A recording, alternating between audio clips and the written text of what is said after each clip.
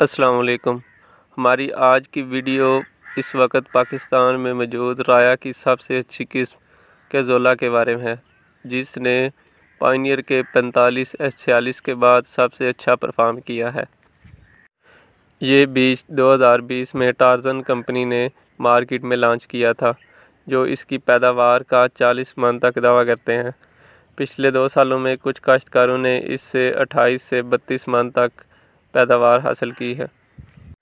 इस वक्त मार्केट में तीन कंपनियाँ कैजोले का बीज सेम पैकिंग में प्रोवाइड कर रही हैं, जिसमें टार्जन बायो ट्रेडर और ऑरेंज शामिल हैं। इनमें ऑरेंज और बायोट्रेडर, ये दूसरे नंबर पर हैं, जबकि टार्जन पहले नंबर पर है। बीज की पैकिंग के वक्त कंपनी इस पर एक एंटी फंगस केमिकल की लेयर चढ़ा देती है जिसकी वजह से ये बीज महफूज भी रहता है और इसे सीड ट्रीटमेंट करने की भी ज़रूरत नहीं पेश आती अब बात करते हैं इसकी चंद खसूसियात के बारे में, जिसकी वजह से ये मार्केट में मौजूद बाकी राया के बीजों से मुख्तलिफ़ है। इसके दौरानिए की बात करें तो ये फुल सीज़न हाइब्रिड बीज है, यानी कि ये छः माह तक का टाइम ले जाता है।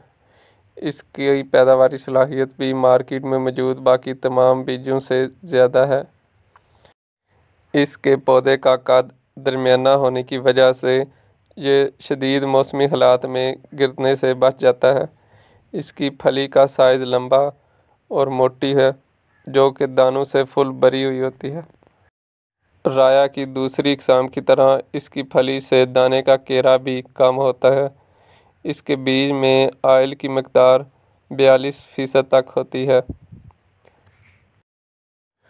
इस पर बीमारियों का हमला भी कम ही होता है। ये वैरायटी शदीद मौसमी हालात को बर्दाश्त करने की सलाहियत भी रखती है। इसका तना मोटा और मज़बूत होने की वजह से इसके गिरने के इम्कान भी कम होते हैं। इसके एक पौधे पर तकरीबन हज़ार फली लगती है। लेकिन तना मज़बूत होने की वजह से पौधा गिरता या झुकता नहीं। इसका बेहतरीन वक्त काश्त सितंबर का आखिरी और अक्टूबर का पहला हफ़्ता है। अगर इस दौरान फ़सल काश्त कर दी जाए तो मार्च के आखिर तक फ़सल पक कर तैयार हो जाती है, जिसके बाद अगेती कपास की काश्त बर वक्त और आसानी से की जा सकती है। मैंने ये वैरायटी पिछले साल तो काश्त नहीं की थी, लेकिन इस साल काश्त करूँगा। अगर किसी दोस्त ने इसे पिछले साल काश्त किया हो तो वो कमेंट में अपनी राय और इससे जो पैदावार हासिल की थी, वो बताए।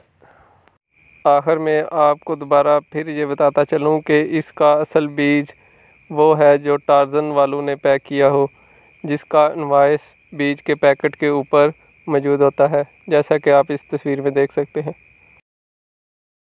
राया और किनोला के बारे में मज़ीद वीडियोस देखने के लिए चैनल को सब्सक्राइब कर दें ताकि नई आने वाली वीडियो आप देख सकें।